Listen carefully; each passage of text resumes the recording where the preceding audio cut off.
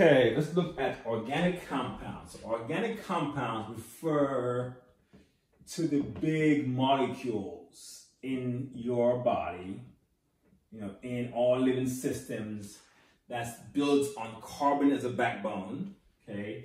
And these big compounds are what give you structure and function, all right? So they come in four types. You have carbohydrates as one class of organic compounds. You have proteins, it's another class of organic compounds. You have fats, what we call lipids, another class. And then the fourth type of organic compounds we have are your nucleic acids, okay? So we'll cover these three. And we'll do this one later on in the, in the semester. So let's begin with carbohydrates. So carbohydrates, as the name suggests, are basically carbons that are hydrated, okay? So the, the general formula for a carbohydrate is CH2O.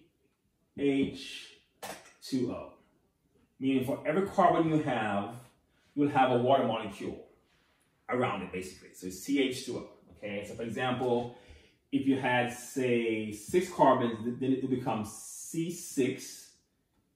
And since it must be a one to two to one ratio, then it's C6 H12 O6, okay? It's always in the simplest form, it's usually one carbon to two hydrogen to one oxygen. One, uh, one to two to one ratio of CHO, okay?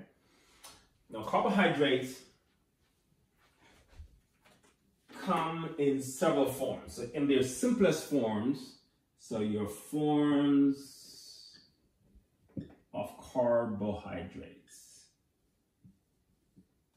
Okay. In its simplest forms, you have what we call monosaccharides. These are the simplest forms of carbohydrates.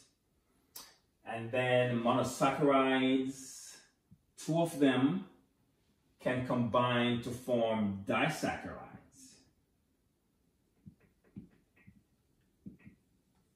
Okay.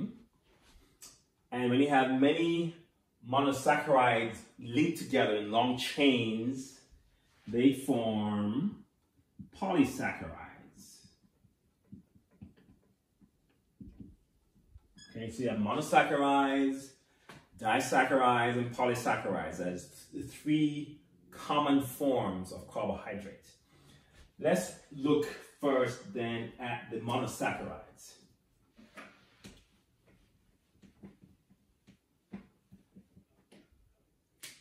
So your monosaccharides commonly come in as hexoses, meaning they have six carbons, hex means six. So they have six carbons in, in, in it. And, and, if they have six carbons, then they must obligatorily have 12 H's and six oxygen, right? Because it must be a one to, one to two to one ratio.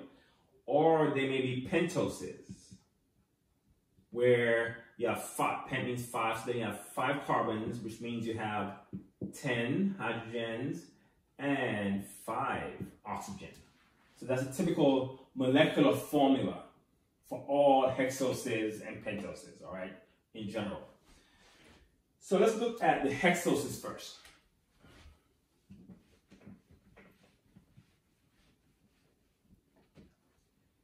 Your common hexoses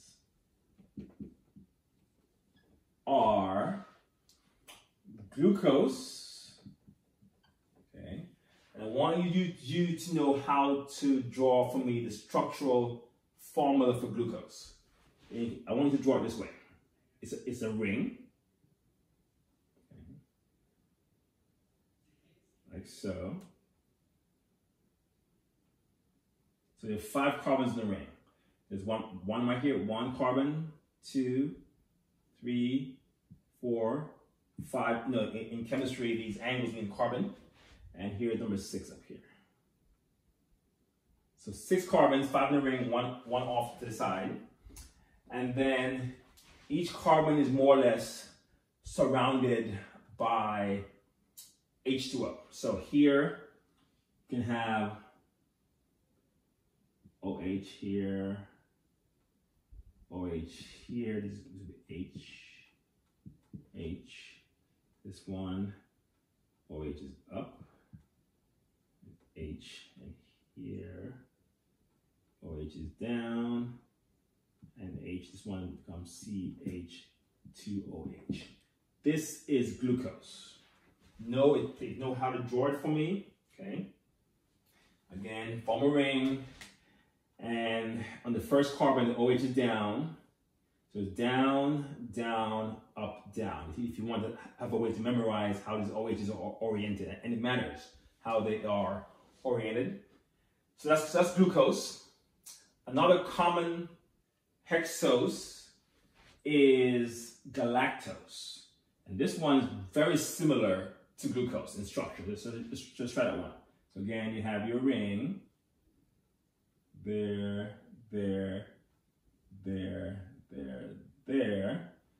And again, one off to the side. So in this case now, OH is down, OH is down, and here OH is up, and here OH is up.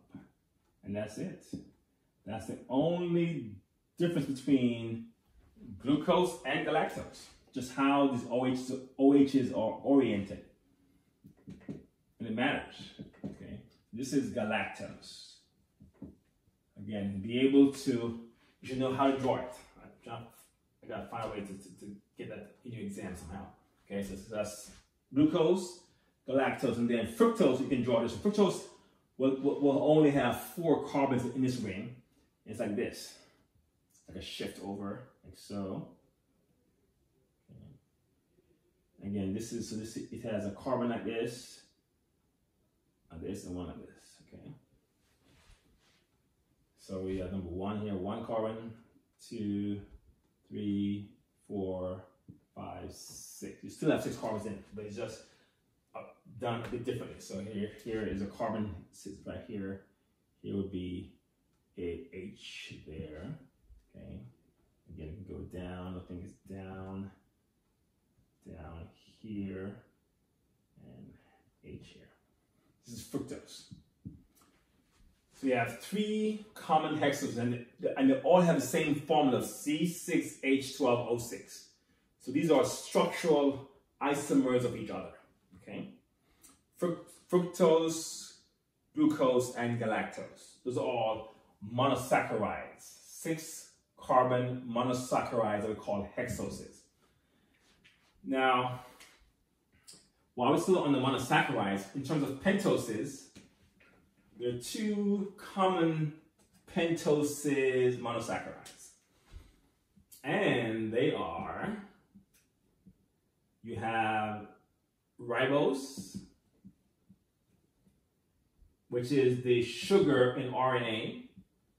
And this formula is C5H10O5.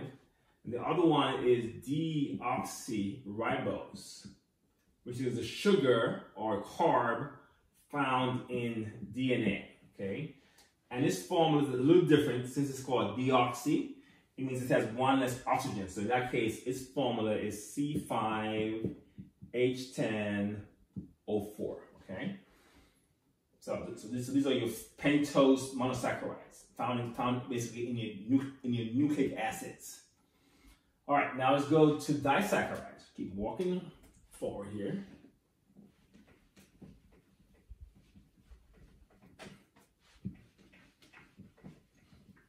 So disaccharides are formed when two monosaccharides combine. So here we go.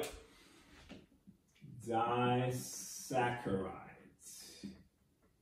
Here you have, so when glucose combines with another glucose, they form a disaccharide called maltose, which is the sugar you find in grain like malt liquor, you know, maltose. You have your glucose combines with fructose, you form sucrose, okay, which is the basically your table sugar. It's what you, you add to your coffee in the morning or to, or whatever you add to sweeten your food. It's typically sucrose unless it's some, some, something artificial.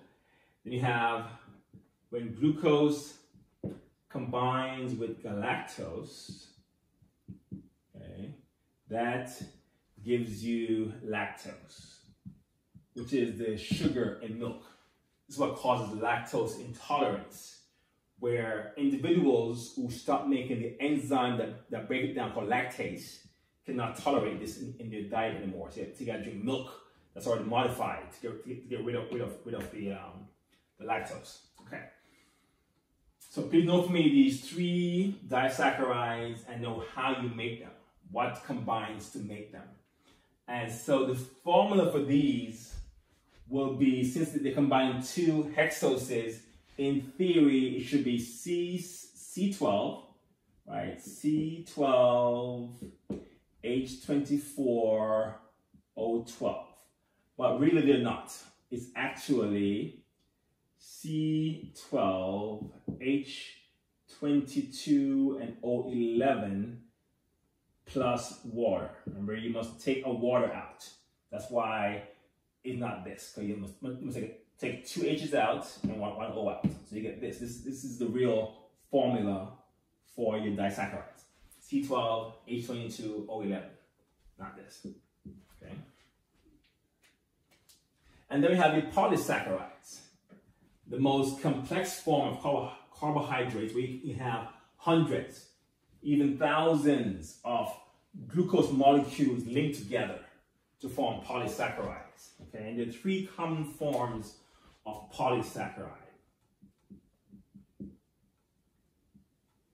polysaccharide. You're gonna have your glycogen. This is the form that animals, animals like us, this is how we store our carbs animals store carbs this way. Our muscles, our liver will store our extra carbs in this format, so we can use it later on. Okay. Then you have starch. This is how plants store their carbs. You know, the carbs, you can't have a thousand molecules of glucose hanging around in a cell just, just for the hell of it. You'd rather have one big molecule of glycogen versus a thousand small pieces of glucose. Again, remember the old molarity thing. The number of pieces matter. So to avoid having too many pieces around, you form one big piece, okay? So starch, so plants store their starch. And this is also the only digestible form of polysaccharide that, that, that we consume. So we can break starches down. It's digestible to us as animals, okay? And then you have cellulose. Cellulose is a structural carbohydrate in plants. Particularly it's found in plant walls, okay? So structure, structural carb in plants. Okay, so please know for me, these three common forms of polysaccharides, where you find them, and what roles they play. Okay, that's it for carbohydrates.